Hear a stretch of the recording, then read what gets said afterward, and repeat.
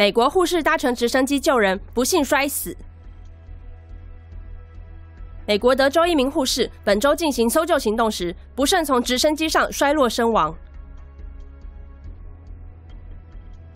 德州特拉维斯郡空中救援小组共有三名成员，其中包括四十六岁的护士 Christine McLean。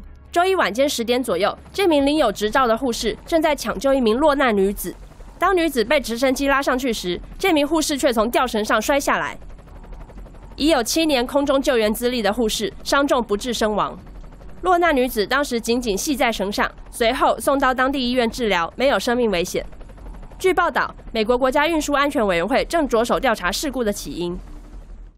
Tomo News 原创 LINE 贴图第二波开卖喽，快来下载吧！